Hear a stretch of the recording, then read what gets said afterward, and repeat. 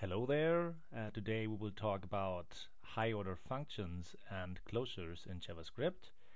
Um, by covering these topics, we will also lay the groundwork for uh, later sessions. And um, uh, from a Java programmer's point of view, things might become a little bit spooky in a couple of minutes, so I just wanted to be warned, maybe. Okay, let's say we have a function called makeFunc taking a single argument x and this function in turn returns another function uh, which simply alerts the current value of x. Uh, so this concept uh, is called a high order function. Uh, in JavaScript, functions are created rather spontaneously. They are created on the fly. So what that means uh, when control flow encounters this function statement, uh, the function gets created. So prior to that, the function does not exist. And um, this can happen several times. And since uh, functions are first class objects, they can not only pass into fu other functions as parameters, they, it's also possible that an um, function returns another function. And if a function returns another function, we are talking about high order functions. So how does it work after all? Um, uh, by the way, uh, this has nothing to do with Closure so far, but I will use, I want to, to use uh, high order functions to construct an, an, a better example um, uh, I will then use to illustrate the Closure stuff. Okay. Um, let's say we have a few calls um, to our makeFunc function. And um, in traditional languages like C, C++, and also Java, uh, the lifetime of local variables is restricted, and especially it is bound to the control flow. Uh, what does it mean? As soon as the control flow will exit this function, so the function is has completed, um, all local identifiers are will be removed from memory. So in C or C++, uh, uh, the variables are removed from the stack. In JavaScript, this is not necessarily the case. Okay, and uh, uh, what is the, what is the, the, the weird thing about that statement here? Because obviously x is a local variable, and uh, but this local variable is used within this inner function here but not inner function, the function that gets created. So, and the weird thing is that uh, since this function gets created and since this function is returned, it might be the case that it is called a long time after uh, control flow has already left the myfunc. And the, the crucial question is now, um, what does it mean to our x variable? Okay, we'll, we will find out in a couple of uh, instances. Um, but once again, since we know makeFunc returns a function, and we can tell by looking at this assignment that the return value is then stored in this local identifier, uh, in this identifier f1.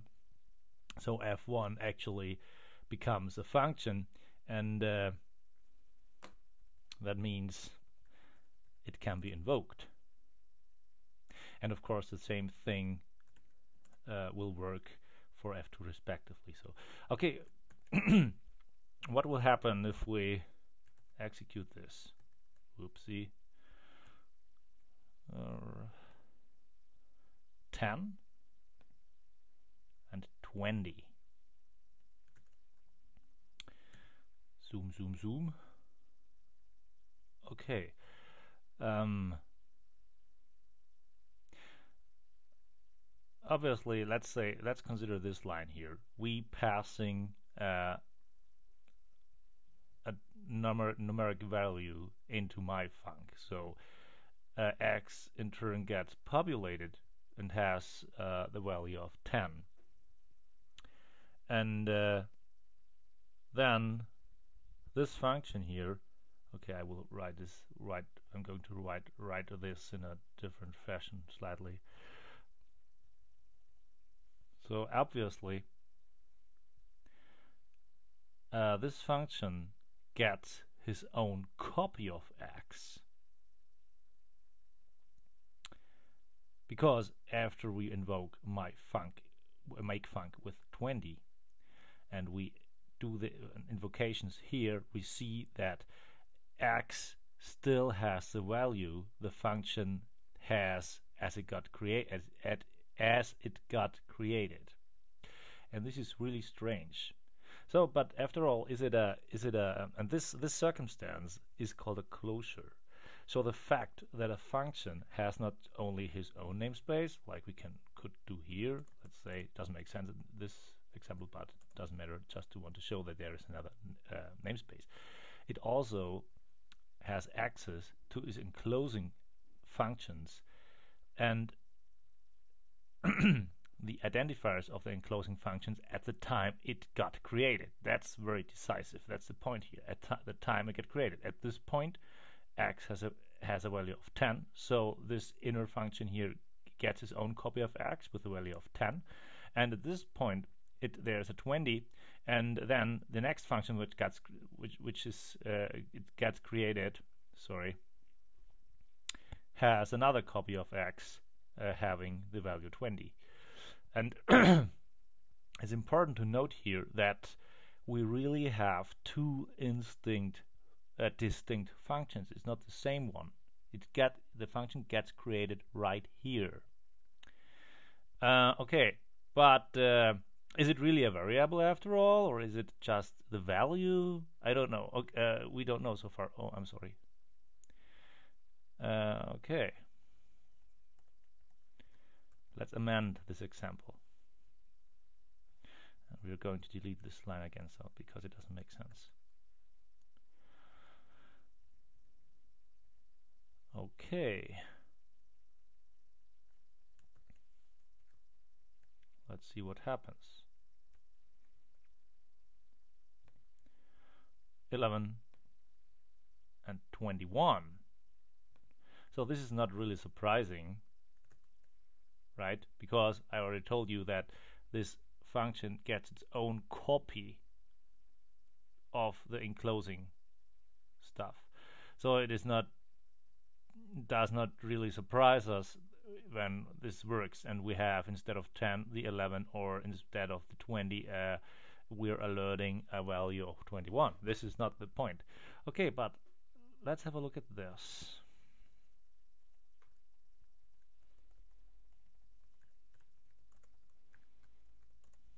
So what will happen now? Okay, we will. You're going to om omit that for a while. So, um, do we have three time 11 or not? Let's have a look at it. Save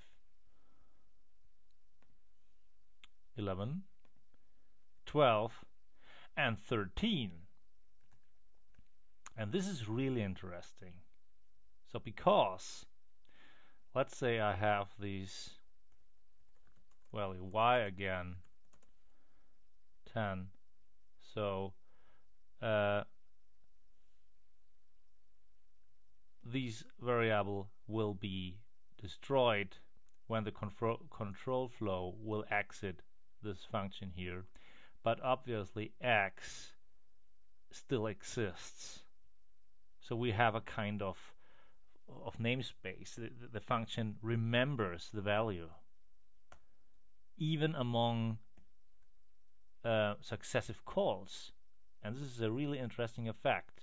So okay, summing up, uh, a closure, the closure is that an inner function has access to all its enclosing functions recursively and uh, at the time it was created. This is a decisive point at this point at this time. So it's um, yeah, it's it's really a little bit complicated. It took me some time to work it out because I'm originally, traditionally, I'm a Java programmer, and as a Java programmer, you do not think about such stuff because in Java there are no higher order functions at all, and uh, yet as yet there are no closures. Uh, they are planned for a couple of I was uh, I don't know if Java 7 should have closures. I am I'm I'm obviously uh, honestly I'm not sure because I'm still working with Java 6 at work and so on. Okay, but as a, um, as I wanted to say, what I wanted to say is that as a Java programmer, I usually do not think about stuff like that. But this is really this is really interesting, and uh, the best thing about it is that we can take these concepts and uh, to uh, to rebuild, as we will see during the next session, to rebuild a private object scope as it is in Java. So um, we can do the exactly the same things. It is not that nice as it is in Java, but we will see that it's possible by using these closures and these high order function stuff. And uh, yeah, that's that's that's a deal. Okay, thanks for watching, um, and I hope to that you will watch also the next session. Bye bye. Ooh.